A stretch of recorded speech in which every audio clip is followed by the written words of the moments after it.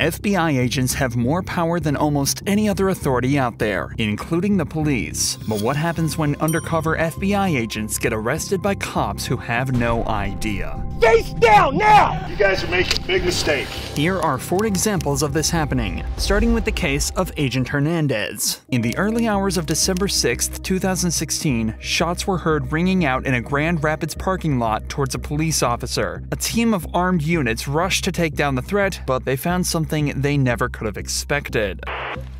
You're gonna st- you want us on them? Oh. Okay.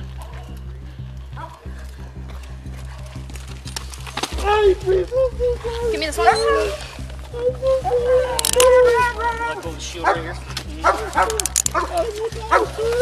Oh no!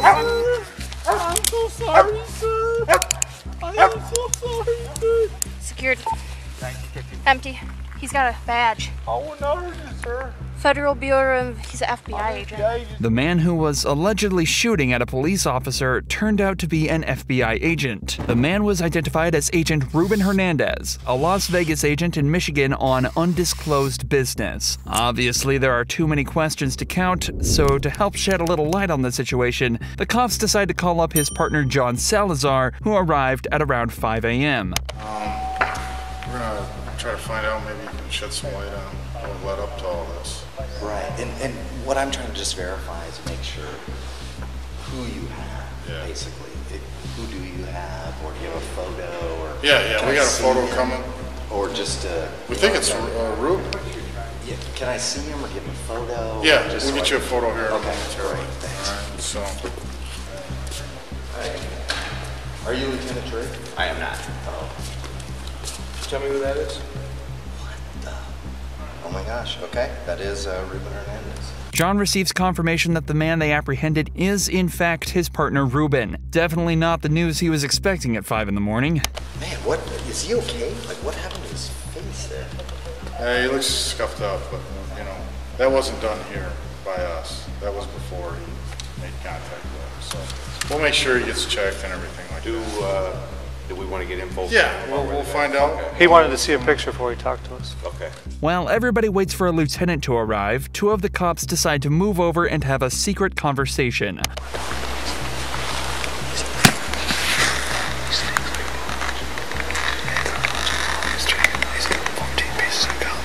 Unfortunately for the cops, covering a camera doesn't stop it from picking up audio. In essence, one cop mentioned how he could smell alcohol on John and that he'd noticed him eating multiple sticks of gum to presumably hide the scent on his breath. From this moment on, the cops start getting more and more suspicious of him until they finally decide to question him. So did you get a call from him tonight? What's that? Did you get a call from him tonight? Um, Someone called us and we weren't, we're still trying to figure out who called us to warrant, let's say he was in trouble or something. That wasn't you? um, listen, I, I'm not gonna answer anything right now. I have no idea. How come you're not gonna answer anything? Well, I mean, I, I gotta wait for, you know, I'm talking to my superiors and everything else to see. Oh, she told a lieutenant you're coming down here to kind of shed some light on what happened. Right, no, no, no, I'm here, and then there's also gonna be a, uh, a special agent from the RA here in Grand Uh, Rapids. he's, uh, I don't know if you know, uh, S.A. Burns or not, but Yeah. he's gonna come down here. And so, Hey, Sean, you guys, you Salazar? Yeah, are you Trick? No, I'm Sean Burns. I'm the SSR. All right. Okay. All right, what I want you to do is these guys are gonna take the gun and hand it over to me, okay? Okay, just let them do what they gotta Okay, do. all right, hold it. There you go. Okay, you got your creds, right? Yeah, You can hold on to that. I'll just take this. It's at this point the cops decide to detain John on suspicion of DUI, so they take his firearm and bring him into a room with a breathalyzer. Need you to seal your lips and blow tell, and tell the beeps. all right, you ready? Yep. Seal your lips and blow. Keep going. There you go. Your BAC right now is .116 at 5:22 in the morning. We'll probably be uh, holding on to your firearm. The legal limit for driving in Michigan is 0.08, so John is just over, and it's likely the number was higher an hour earlier when he was actually driving. Looking at the big picture though, this is actually a very unfortunate situation for John. That night, he'd been drinking with a friend at a club while they were off duty. It was only when he was back at his hotel when the local PD called him to come and verify it was his partner they arrested. Obviously, John shouldn't have driven his car to get there, but nevertheless, course, you can see how he would make that mistake in such a stressful situation. But other than the body cam cover up, the cops handled this perfectly. However, the same cannot be said for the cops in the next case, who showed exactly what not to do when dealing with an undercover FBI agent. Run your body cam? I, I am now because I don't know how legit you are at the moment. It's okay. Special Agent Hammond. The FBI. Okay. You got that on body cam? I do, but I don't understand what the problem is. Would you meet me at the office? I'll talk to the U.S. Attorney's Office about it. You can cut off the recording device now. Okay. Well, I will when I leave the area, sir. This agent was actually investigating police corruption in the Franklin County Police Department, but he had no idea just how corrupt this officer would turn out to be. The agent had called this officer to meet at a random location and refused to meet him at their offices. If it's not already obvious, everything this agent does and says from now on is a test to try and see how well this cop follows conduct, and if his co-workers follow suit. This is why he asked him to turn off his body cam, and luckily for the cop, he passed this first test with flying colors. However, it doesn't seem as though it's going to last for very long. Am I being detained? Am I being detained? You're the one who called me here, sir. How did you get my phone number? I can't give you that information. You are detained at this time, sir.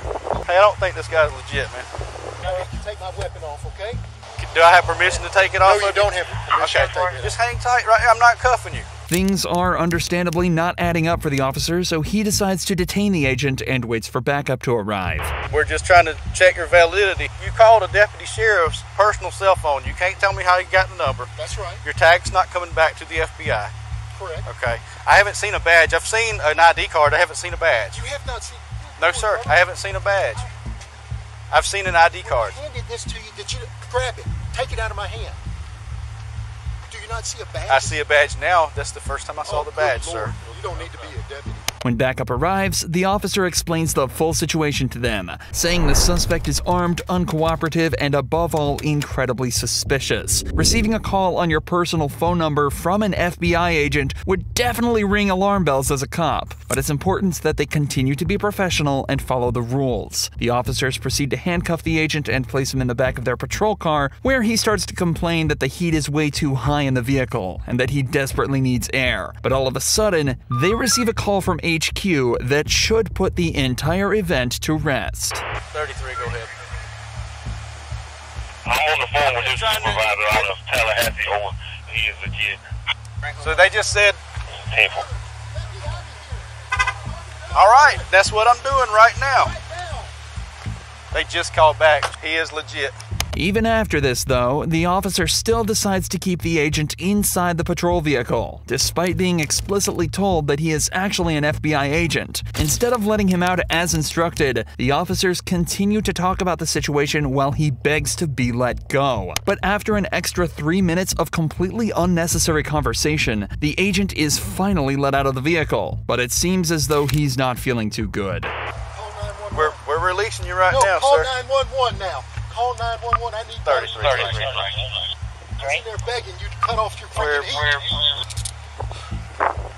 After a further 10 minutes, medics arrive and the agent is taken away in an ambulance. Thankfully, despite what can only be described as disrespect and neglect from the officers, the agent suffered no serious injuries, but things ended differently for ATF agent Burke, who was treated so badly by police that he had to file a lawsuit against them. Agent Burke was dispatched to a house to confiscate a firearm that had been illegally acquired by the residents. However, instead of being granted access to the home, the door was instead shut in his face and the residents called the police. The cops were given Agent Burke's badge number, but still treated the incident as a break in and Burke as a criminal. Hey, turn around. Let me see your hands.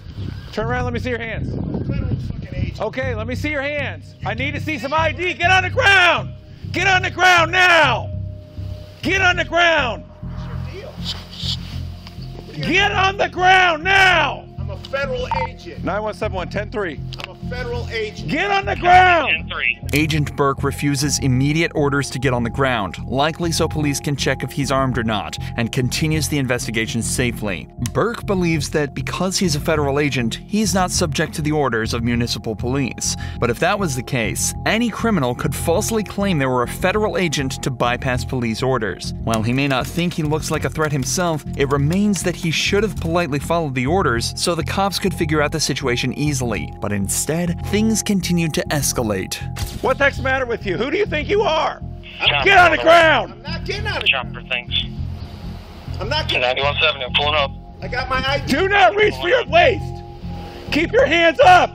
Once a second officer arrives, Burke finally follows the orders and lays down on the ground. Do not resist. I'm not resisting. You're acting like a No, Greg. moron. Wait a second. Wait a second. Wait a second. No, don't do this. Wait a second. I got a medical condition. Get my license out of my pocket. We're getting you secured first. Please, please, wait. No, whoa. Hold on, hold on. I'm hyperventilating. Please, wait, please, sir. I'm Stop I- resisting. I'm not. Stop resisting Would you now. please get my ID out of my left pocket? Stop I'm begging you. My my wife's pre- please. It's right here. resisting. Please get it. Wait, sir, help me up. Just hold me up. Sir, I can't do it. Wait, sir. Stop resisting now. Please, please help me. Sir, please get my Get out. my federal creds. Get your taser out, Joe. No, don't do that, please. Sir, Don't make me tase you. You're to get taped. Put your right No. arm behind your back. Okay. Put your right arm behind help your me back up. now. No. Help me up. No, you're going to stay on the ground and put your right arm behind your back. Let me breathe. Let me breathe. can I'm breathe gonna. just fine. I'm gonna. Ow! Ow! Don't do that. Okay. Here. My God. Get him cuffed. It is cuffed. Please stop. Get him cuffed. Please stop, sir. Wait a second. Sir. Please help me up. In the distressing footage, Burke continues to tell the officers that he's an ATF agent out on a call and to simply take his ID from his back pocket. After finally looking at his ID, officers keep him under arrest and take him to their patrol vehicle. Why would you make us do this? I didn't want you. to. I wanted to. Wait. Hold on, he's holding, hold him, hold him. I'm knocking the door. Relax. Hold him. Hey, guys, please, just talk to me for one second, please. Get in the car. No, we'll wait. talk later. Sir. The cops then force Burke into the vehicle, talking over his pleas and explanations regarding his medical condition. Please, sir. I, If you are a real police officer, you ought to be ashamed of yourself. I was trying to give you my creds. We got him in the car. Copy, Devlin, at scene. He might even be a real Um, cop, but he wouldn't tell us, wouldn't, wouldn't do anything, Uh, wouldn't get on the ground. I mean, what the the heck? We had to taser him, so we got a medic coming. If he is an actual police officer, he got to be ashamed of himself. Sir, I'm not. I'm trying to You're not. You're right. You're not. see my creds. Yeah. No, you screwed up. You bet. Police continued to detain Burke in their patrol vehicle for over an hour longer before eventually releasing him without charges. Despite not necessarily showing perfect conduct himself, Burke decided to sue the Columbus Police Department, citing excessive force and unlawful arrest. The original complaint says that after the incident, which caused him both physical and mental harm, he was taken from active duty and confined solely to administrative and support roles, with adjustments having to be made to the department to accommodate him. As of this video's upload, the case is still ongoing. Realistically, both parties involved in this case were in the wrong to some extent, but in the case of Mac Proctor, things are totally different. Mac is supposedly an undercover agent with a very strong knowledge of the law, and he's about to show exactly how corrupt police officers can be completely unprovoked. Mac was parked in a private parking lot waiting for a takeout order while on his shift as a delivery driver. While his vehicle wasn't in a designated parking spot, it wasn't blocking the flow of traffic, and he'd only left it there unattended while picking up his food. Upon returning to his vehicle, Mac was approached by a police officer stating he was violating parking rules. All right, Mr. Proctor. Uh, that is your last name. Uh, everything okay? Do I need to answer any of your questions? You don't have to answer anything. Dude. Okay, You don't um, have to. Lucky you stand here all day. I get Can- paid either way. Can you go ahead and finish your job so I can carry on? What's up with the anger, dude? I'm not angry. You're not angry? You always talk to everybody like that? I'm I'm not angry. Oh, okay. I just want you to go ahead and wrap things up, please. Oh, okay. Of course, Mac has every right to stay silent in the face of the officer's questions, especially ones that don't at all pertain to criminal proceedings. At no point did he raise his tone or say anything out of line, yet the officer asks why he's being so angry. Many people think that some police officers are used to consistently being in command and control on these interactions, and it's possible the same is true with this officer. When Mac exercised his rights and just asked for things to be moved along, this cop was surprised and took it as a combative statement. All right, well, you know, I'll give you a, a break on it, but you know what I'm saying? This isn't a parking spot, okay, dude? You're not giving me a break. You're harassing me at I'm this point. I, I'd like to here? leave. May I leave now, please? Uh, well, do you understand? Am why I being stopped you? detained? Yes, you are. Okay. All right. So do you understand why I stopped you? Do I need to answer any No, more of you your don't- I'm- questions? you don't have to. Okay. The officer informs Mac that he is being detained for parking here. To issue a citation for parking violation, you must be breaking either local, state, or federal law. Something like parking in a handicap spot without proper documentation. Hey, Mr. Proctor, can I just give you your stuff so you can leave? Can you? I can, but you're the one. I would have let you go a long time ago. I What do I need to do for you to hand me my documents so I I'll can give leave? it to you right now. I just want to know that you know that you're okay because usually I don't get people all this. What do I need to do for you to hand me my documents so I can be on my way? You're okay. I don't need to answer any of your questions. there we go again. Jesus Christ. trying to say that. Uh, You're trying to display your power to me right no, now. I'm concerned about it. Is there a problem to be concerned about another human being? You have no reason to be concerned about me. So it's okay then. You're okay then. You can hand me my documents and I can be on my way, or we can. fine. Okay. You're not gonna. Okay, here. I'll tell you what. I'm gonna take a chance on you. All right, here, Mr. Proctor. Um, your value, everything's cool. All right. We're blocking traffic. Here, your stuff. Mac was allowed to leave without further incident, but this interaction raises questions about why he was met with further difficulties after doing nothing other than exercising his Fifth Amendment right. In fact, it's strange that the entire interaction even happened in the first place. If the officer had observed Mac's vehicle obstructing traffic, the incident could have been avoided by simply asking him to move his vehicle out of the way and let him go about his day from there. Instead, the officer detained Mac, preventing him from moving his vehicle and keeping it in the very place that's allegedly impeding traffic flow. The cop later found out that Mac wasn't even a federal agent or officer himself, and simply managed to prove just how valuable it is to know the law.